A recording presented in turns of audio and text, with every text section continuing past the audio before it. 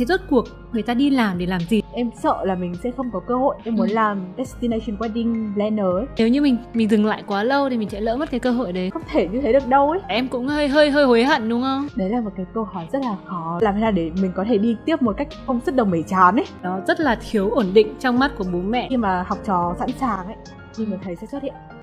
Người trong môn nghề, nếu muốn biết có gì thì bấm nút subscribe nhá. Xin chào các bạn và chào mừng các bạn đã quay trở lại với Spy Room. Mình là Pink Dot và hôm nay mình sẽ mang đến cho các bạn một bài viết. Bài viết này được tham khảo một phần từ bài viết Evergrande là gì, cuộc khủng hoảng của gã khổng lồ bất động sản Trung Quốc. Bài viết được viết và đăng tải trên website spyroom.com bởi tác giả Genji Invest. Chúng mình hãy bắt đầu bài viết ngay bây giờ nhé.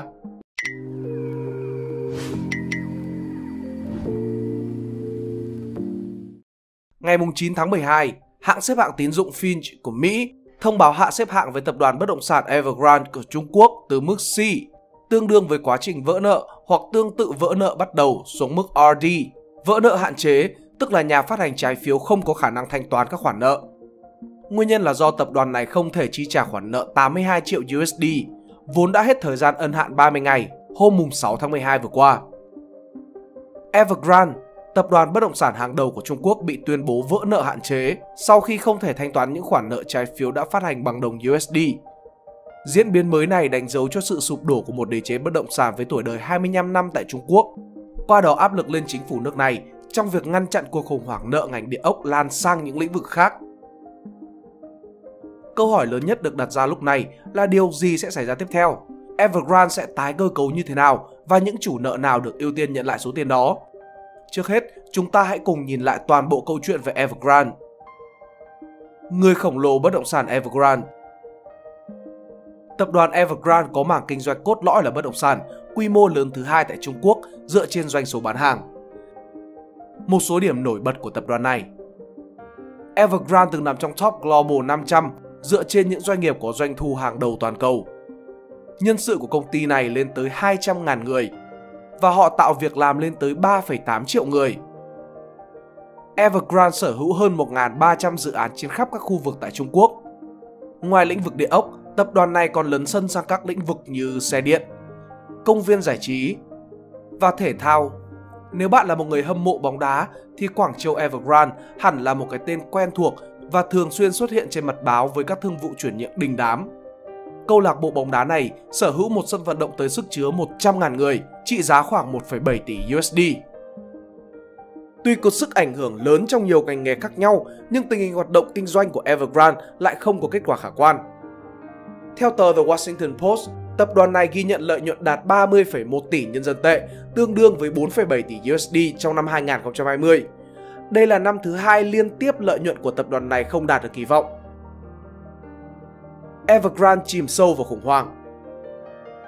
Những năm gần đây, nhằm thuyết phục mục tiêu bành trướng với tốc độ chóng mặt trên nhiều lĩnh vực của mình, Evergrande đã vay nợ một cách vô tội vạ.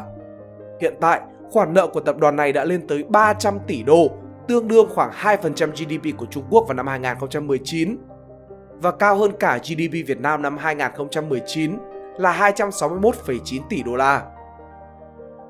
Chỉ trong vài tuần qua, Evergrande đã liên tục đưa ra các thông tin về doanh số bán hàng giảm sút và có khả năng vỡ nợ nếu như không thể tìm thấy nguồn vốn mới. Ngoài câu chuyện về việc vay nợ quá nhiều, khả năng quản lý của những người đứng đầu tập đoàn cũng bị đặt dấu hỏi. Trước đó, đã có nhiều tín hiệu cho thấy Evergrande đang trở thành một quả bom nổ chậm có thể bùng nổ bất kỳ lúc nào. Một số sự kiện đáng chú ý của Evergrande trong những năm gần đây. Vào tháng 8 năm 2020, chính quyền Trung Quốc nhận thấy tình trạng bong bóng bất động sản tại nước này tăng cao nên đã tổ chức một hội nghị quy tụ 12 tên tuổi hàng đầu của ngành này. Tại đây, chính quyền Bắc Kinh đã đưa ra đề xuất ba lần danh giới đỏ đặt giới hạn nợ liên quan đến dòng tiền, tài sản và vốn chủ sở hữu của công ty bất động sản. Đến tháng 6 năm 2021, tập đoàn này đã giảm các khoản nợ trả lãi từ 716 tỷ nhân dân tệ xuống còn 570 tỷ nhân dân tệ bằng việc liên tục huy động vốn qua các hoạt động IPO công ty con và bán bớt cổ phần của mình. Vào tháng 7 năm 2021, một tòa án đã phong tỏa 132 triệu nhân dân tệ tiền gửi của Evergrande và nhiều ngân hàng tại Hồng Kông đã từ chối cho các người mua dự án chưa hoàn tất của Evergrande được tiếp tục vay nợ. Các tổ chức xếp hạng tín dụng uy tín đã nhiều lần hạ cấp Evergrande với lý do vấn đề về khả năng thanh toán nợ của tập đoàn.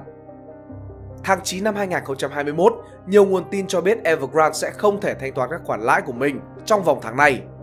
Hàng loạt các trái chủ đã đến trụ sở của tập đoàn để biểu tình. Trong một báo cáo của S&P vào tháng 8, trong một năm tới, Evergrande sẽ phải chi 240 tỷ nhân dân tệ, tương đương với 37,16 tỷ đô la, cho các nhà đầu tư thi công của mình.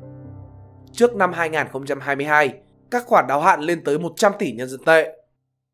Trong năm 2021, giá cổ phiếu của Evergrande đã bay hơn 80% và trái phiếu của tập đoàn này cũng đã bị tạm ngừng giao dịch.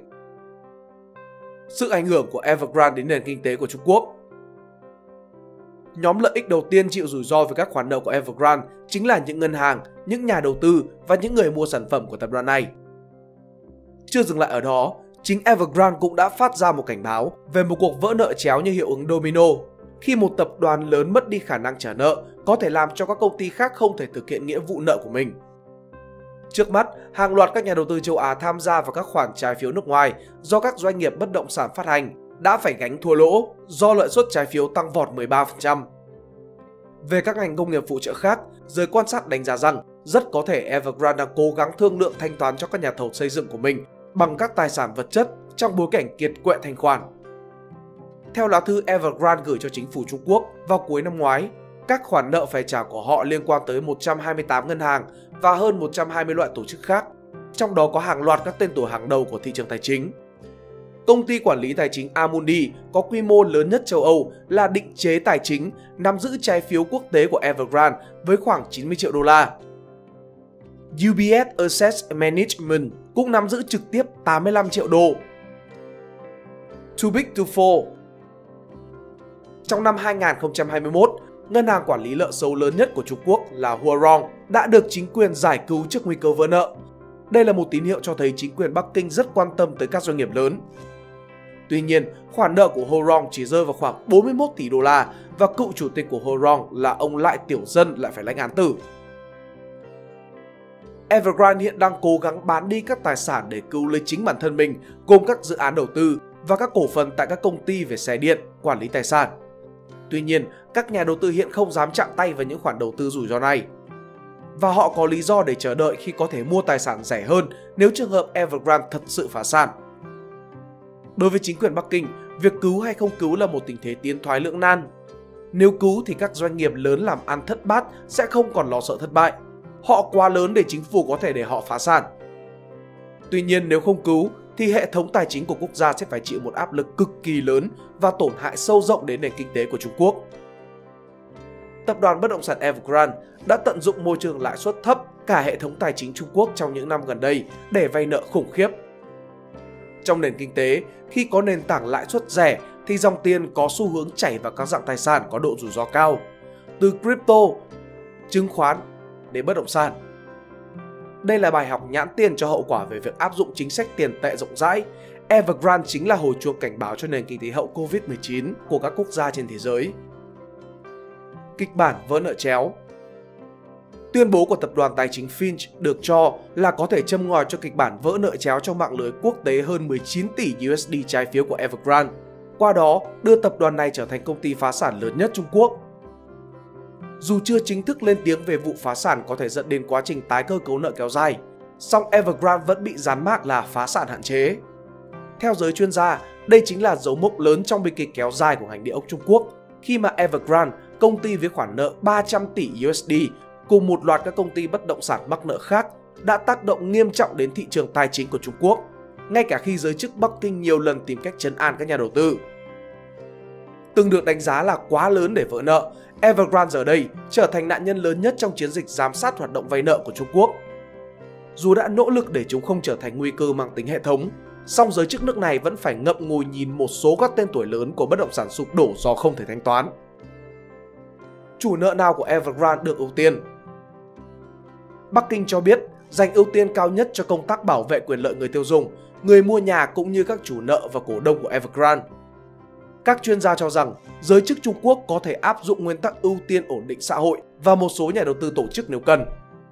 Những chủ nợ nước ngoài của Evergrande được cho là sẽ được ưu tiên sau cùng.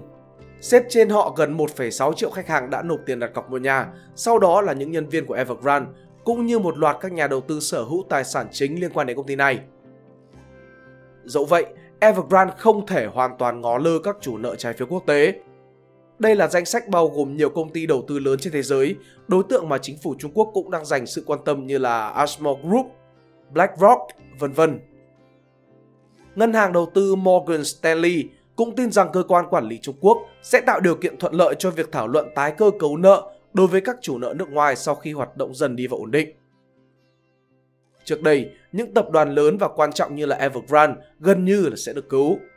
Bất động sản đóng vai trò quan trọng trong nền kinh tế của Trung Quốc. Đây là lĩnh vực nắm như hầu hết tài sản của hộ gia đình, một khoản nợ khổng lồ đối với các ngân hàng của Trung Quốc và gắn liền với 1 phần 5 hoạt động kinh tế. Tuy nhiên, Chủ tịch Tập Cận Bình đã chứng tỏ khả năng chấp nhận rủi ro cao hơn nhiều của nền kinh tế Trung Quốc.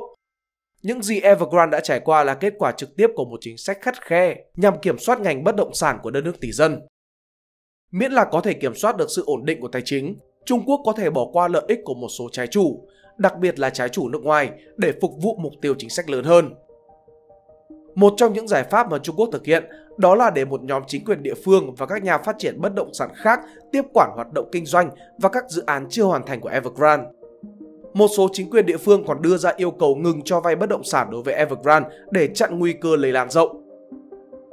Nếu có một giải pháp sớm xuất hiện và Bắc Kinh hành động nới lỏng chính sách tiền tệ tổng thể, đó sẽ là tia hy vọng để lạc quan rằng Trung Quốc có thể tránh được một cuộc suy thoái tài sản nghiêm trọng. Hiện tại, Trung Quốc dường như không thể tránh khỏi các tác động đáng kể đối với tăng trưởng vào cuối năm 2021 và đầu năm 2022. Nếu như Bắc Kinh hành động dứt khoát, đất nước này vẫn có thể tránh được những điều tồi tệ hơn. Về Evergrande, tập đoàn này cho biết họ sẽ tích cực tham gia với các chủ nợ để đưa ra kế hoạch tái cơ cấu. Tập đoàn này có kế hoạch đưa toàn bộ trái phiếu phát hành ở nước ngoài và các nghĩa vụ nợ tư nhân vào kế hoạch. Đây có thể là cuộc tái cơ cấu lớn nhất Trung Quốc từ trước đến nay. Từng là nhà phát triển bất động sản hàng đầu Trung Quốc, Evergrande đang ngập trong núi nợ lên tới 300 tỷ USD, tương đương 2% tổng sản phẩm quốc nội GDP của Trung Quốc. Trong đó trái phiếu thị trường quốc tế là 19 tỷ USD. Sự kiện này được coi là chấn động kinh tế lớn nhất Trung Quốc trong nhiều năm qua. Nếu các bạn thích bài viết này, hãy like và share để ủng hộ chúng mình. Đừng quên bấm nút subscribe và nút chuông bên cạnh để không bỏ lỡ video nào bọn mình ra trong tương lai. Cảm ơn các bạn đã lắng nghe. Đây là Spy Room, còn mình là Pink Dot. See ya!